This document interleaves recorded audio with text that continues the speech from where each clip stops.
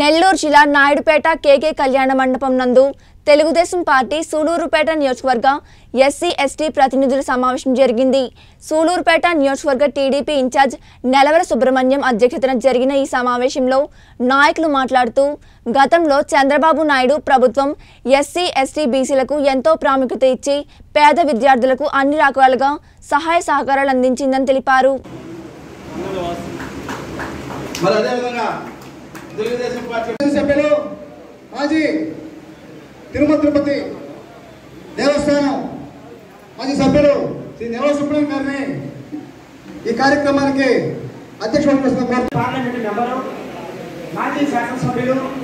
మాజీ TDP board member గారి సారథ్యంలో Telugu Desam party Telugu Desam party Telugu Desam party ఈ దళిత సోదరులు ఈ గిరిజన సోదరులు ప్రతి ఒక్కరు కూడా ఇక్కడ ఇది ఒక క్లాసెస్ ఒక కౌన్సిలింగ్ మరి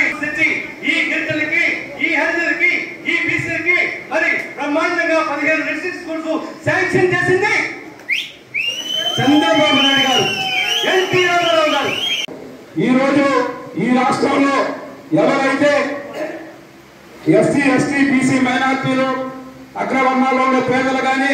ఈ రోజు అనుభవిస్తున్న కష్టాలు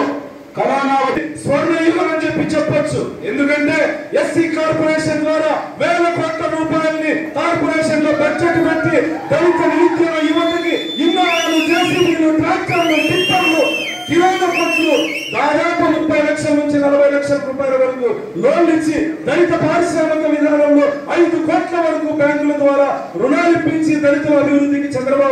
కృషి చేస్తే కార్పొరేషన్ని మూడుగా విభజించి మాల కార్పొరేషన్ మాదిరి కార్పొరేషన్ రెల్లి కార్పొరేషన్ అని చెప్పి మూడుగా విభజించి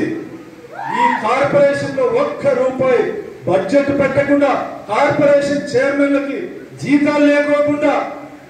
కార్పొరేషన్లో అవుట్ సోర్సింగ్ సిబ్బంది ఉద్యోగాలు చేసేటువంటి వాళ్ళకి జీతాలు కూడా ఇవ్వలేనటువంటి దౌర్భాగ్య పరిస్థితుల్లో ఈ రాష్ట్ర ముఖ్యమంత్రి తప్పకుండా పనిచేసి మా ఇచ్చి చంద్రబాబు గారు నాయకు-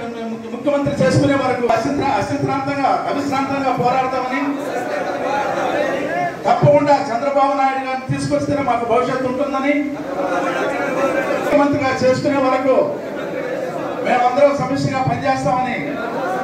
సూలూరుపేట నియోజకవర్గంలోని తెలుగు